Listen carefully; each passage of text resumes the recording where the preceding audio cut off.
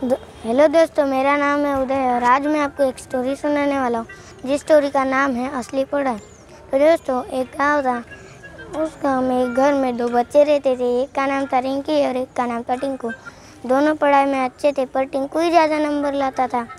तो एक दिन क्या हुआ कि दोनों बच्चे ने अपने पापा से साइकिल की जीत की तो उनके पापा ने कहा कि मैं सिर्फ़ एक ही साइकिल खरीद के दे सकता हूँ।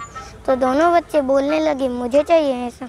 मुझे चाहिए, ऐसा बोलने लगे तो उनके पापा ने एक शर्त रखी कि जो बच्चा एग्ज़ाम में टॉप करेगा, उसे ही साइकिल मिलेगी। तो दोनों बच्चे पढ़ाई में लग गए।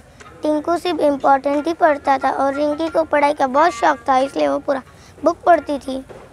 तो टिंकू रिंकी के पास गया और बोला, जो तुम पढ़ रही हो, वो सब बेकार है। मुझे ट्यूशन वाले सर ने तीन साल से एग्ज़ाम के पेपर दिए हैं, इसलिए उन्हीं में से क्वेश्चन रिपीट होते हैं। रिंकी बोली, मुझे मुझे नहीं चाहिए एग्ज़ाम के पेपर तो ऐसे में टिंकू फिर चला जाता है। फिर एग्ज़ाम हो गया। दो तीन महीने के बाद जब रिज़ल्ट आया तो हमेशा की तरह वही हुआ। टिंकू फ़र्स्ट आया और रिंकी सेकंड आई। तो उस खुशी में दोनों पूरा परिवार होटल में खाना खाने गया।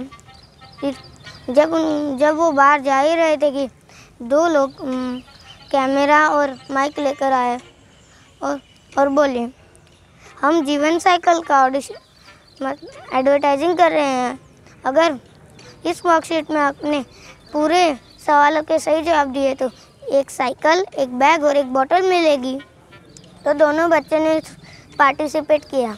वो क्वेश्चन आंसर्स उनके बुक में से ही थे, ना कि उनके एग्ज़ाम से। रिंकी पूरा बुक पढ़ती थी, इसलिए उसे सारे आंसर आते थे। उसने समय से पहले ही सारे आंसर लिख कर दे दिए। और फिर टिंकू को कुछ नहीं आता था, वो इनको एग्ज़ाम का ही पढ़ता था इसलिए। तो उसने भी फिर दे ही दिया तो फिर रिज़ल्ट आया वो। तो रिंकी जीत गई। फिर रिंकी को साइकिल और बाकी सारे प्रेजेंट्स मिले। और टिंकू का मिली एक सीख। तो दोस्तों, इस कहानी से हमें ये सीख मिलती है कि हमें सिर्फ़ नंबर्स के लिए नहीं नॉलेज के लिए भी पढ़ना चाहिए।